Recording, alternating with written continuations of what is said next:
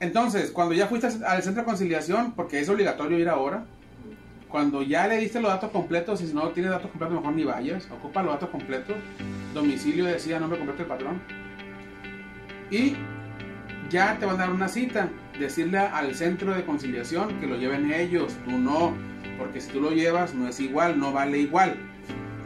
Te evitas vueltas.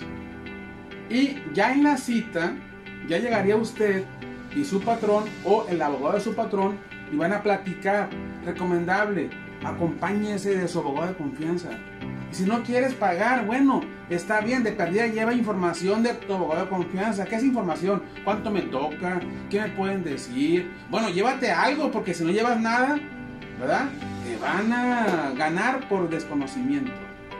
Porque el patrón lleva a su abogado de confianza. Un abogado que no es casualidad, el abogado ya lleva especialidad, experiencia en el tema laboral. Usted puede llevar a una persona de su confianza o al abogado de su confianza. En Culiacán están permitiendo esa visita, ese acompañamiento, ¿no? Usted dice, no, es que me vas a cobrar. Bueno, ve tú sola, pero ah, lleva información previa. Importante.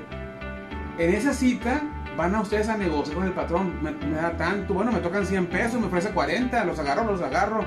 Me ofrece 80 de los 100, los agarro. ¿Sí?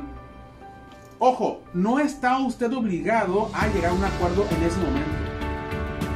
Si el patrón en tu caso, que no te dio seguro social, niega que te conoce, pues ni modo va a tener que demandarlo. El objetivo de que usted acuda al centro de conciliación es cumplir con la ley. Porque ahora te exigen que usted vaya al centro de conciliación antes de demandar.